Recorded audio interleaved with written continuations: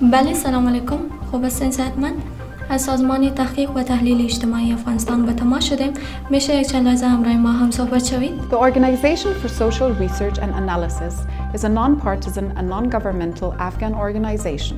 Our vibrant and interdisciplinary team comes together from the fields of social science, computer science and statistics. With work experience both inside and outside Afghanistan, we offer tailored solutions for Afghan realities. While our core work revolves around data for sustainable development, the goal and purpose of our work remains strengthening and consolidating transparency and accountability to push for more public empowerment and democracy. At the Organization for Social Research and Analysis, we provide services in designing the development of state-of-the-art technical infrastructure for the data center, big data analysis based on machine learning and artificial intelligence, policy recommendation for big data management in intelligent decision-making processes, design and implementation of real-time information systems.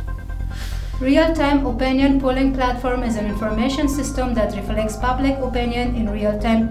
We collect data and opinions via phone interviews covering all 34 provinces of Afghanistan and enter the data into the system using our specially designed survey management system. The data is automatically cleaned, analyzed, and visualized on our web platform with unrestricted and free access for the public use.